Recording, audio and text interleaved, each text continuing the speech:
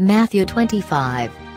24. I knew thee, that thou art a harsh man. This harshness has nothing to do with the substance of the parable, and it is an idle speculation in which those indulge, who reason from this passage, how severely and rigorously God deals with his own people. For Christ did not intend to describe such rigor, any more than to applaud usury, when he represents the master of the house as saying, that the money ought to have been deposited with a banker, that it might, at least, gain interest Christ only means, that there will be no excuse for the indolence of those who both conceal the gifts of God, and waste their time in idleness. Hence also we infer that no manner of life is more praiseworthy in the sight of God, than that which yields some advantage to human society. 29. To every one that hath shall be given has been explained under Matthew 13:12. 30 and cast the unprofitable servant into outer darkness. We have also explained, under Matthew 8:12, that outer darkness is contrasted with the light which is within the house, 696, for, as banquets were anciently held, for the most part, at night, and were illuminated by numerous torches and lamps, of those who are banished from the kingdom of God, Christ says, that they are cast without into darkness, Luke 19:27. But those my enemies in this second part, he appears to glance principally at the Jews, but includes all who in the absence of their master, determined to revolt. Now Christ's intention was, not only to terrify such persons by threatening an awful punishment, but also to keep his own people in faithful subjection, for it was no small temptation to see the kingdom of God scattered by the treachery and rebellion of many, in order then that we may preserve our composure in the midst of troubles, Christ informs us that he will return, and that at his coming he will punish wicked rebellion. Matthew 25. 31. Now when the Son of Man shall come in his glory. Christ follows out the same doctrine, and what he formerly described under parables, he now explains clearly and without figures, the sum of what is said is, that believers, in order to encourage themselves to a holy and upright conduct, ought to contemplate with the eyes of faith the heavenly life, which, though it is now concealed, will at length be manifested at the last coming of Christ. For, when he declares that, when he shall come with the angels, then will he sit on the throne of his glory. He contrasts this last revelation with the disorders and agitations of earthly warfare, as if he had said, that he did not appear for the purpose of immediately setting up his kingdom, and therefore that there was need of hope and patience, lest the disciples might be discouraged by long delay. Hence we infer that this was again added, in order that the disciples, being freed from mistake about immediate and sudden happiness, might keep their minds in warfare till Christ's second coming, and might not give way, or be discouraged, on account of his absence.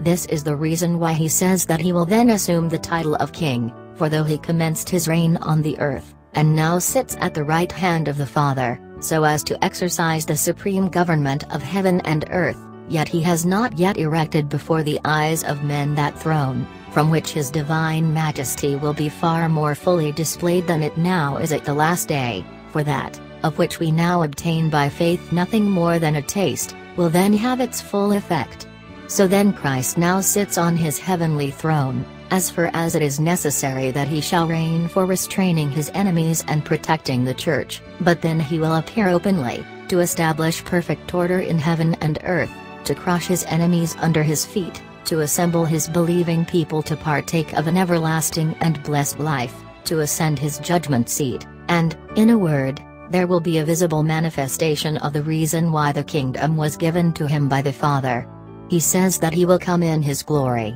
because, while he dwelt in this world as a mortal man, he appeared in the despised form of a servant. And he calls it his glory, though he elsewhere ascribes it to his Father, but the meaning is the same, for he means simply the divine glory, which at the time shone in the Father only, for in himself it was concealed. Matthew 25. 32. And all nations shall be assembled before him. He employs large and splendid titles for extolling his kingdom, that the disciples may learn to expect a different kind of happiness from what they had imagined.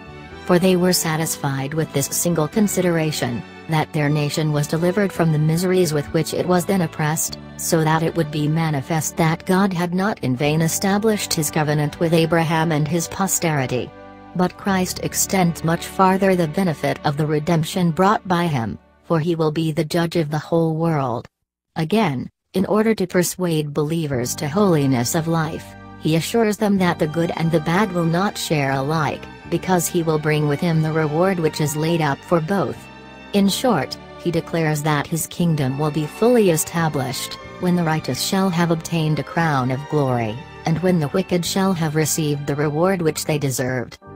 As a shepherd separateth the sheep from the goats. When our Lord says that the separation of the sheep from the goats is delayed till that day, he means that the wicked are now mixed with the good and holy, so that they live together in the same flock of God. The comparison appears to be borrowed from Ezekiel 34 hours 18 minutes, where the Lord complains of the fierceness of the goats, which attack with their horns the poor sheep, and destroy the pastures, and pollute the water, and where the Lord expressly declares that he will take vengeance. And therefore Christ's discourse amounts to this, that believers ought not to think their condition too hard, if they are now compelled to live with the goats, and even to sustain many serious attacks and annoyances from them, secondly, that they ought to beware of being themselves infected by the contagion of their vices, and, thirdly, to inform them that in a holy and innocent life their labor is not thrown away, for the difference will one day appear. Matthew 25 34. Come, you blessed of my Father. We must remember Christ's design, for he bids his disciples rest satisfied now with hope, that they may with patience and tranquility of mind look for the enjoyment of the heavenly kingdom, and next, he bids them strive earnestly, and not become wearied in the right course. To this latter clause he refers, when he promises the inheritance of the heavens to none but those who by good works aim at the prize of the heavenly calling. But before speaking of the reward of good works, he points out, in passing, that the commencement of salvation flows from a higher source, for by calling them blessed of the Father, he reminds them, that their salvation proceeded from the undeserved favor of God. Among the Hebrews the phrase blessed of God means one who is dear to God, or beloved by God. Besides, this form of expression was not only employed by believers to extol the grace of God towards men, but those who had degenerated from true godliness still held this principle. Enter, thou blessed of God, said Laban to Abraham's servant, Genesis 24:31. We see that nature suggested to them this expression, by which they ascribed to God the praise of all that they possessed. There can be no doubt, therefore, that Christ, in describing the salvation of the godly, begins with the undeserved love of God, by which those who, under the guidance of the Spirit in this life, aim at righteousness, were predestined to life.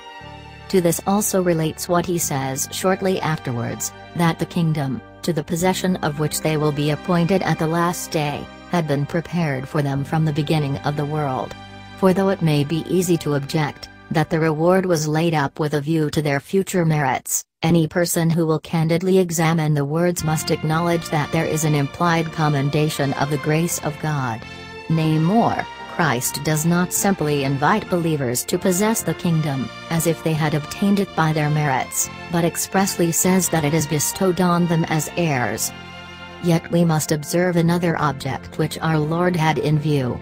For though the life of the godly be nothing else than a sad and wretched banishment, so that the earth scarcely bears them, though they groan under hard poverty, and reproaches, and other afflictions, yet, that they may with fortitude and cheerfulness surmount these obstacles, the Lord declares that a kingdom is elsewhere prepared for them. It is no slight persuasive to patience, when men are fully convinced that they do not run in vain, and therefore, lest our minds should be down by the pride of the ungodly, in which they give themselves unrestrained indulgences lest our hope should even be weakened by our own afflictions, let us always remember the inheritance which awaits us in heaven, for it depends on no uncertain event, but was prepared for us by God before we were born comma prepared, I say, for each of the elect, for the persons here addressed by Christ are the blessed of the Father. When it is here said only that the kingdom was prepared from the beginning of the world, while it is said, in another passage, that it was prepared before the creation of heaven and of earth, Ephesians 1-4, this involves no inconsistency. For Christ does not here fix the precise time when the inheritance of eternal life was appointed for the sons of God, but only reminds us of God's fatherly care, with which He embraced us before we were born, and confirms the certainty of our hope by this consideration, that our life can sustain no injury from the commotions and agitations of the world.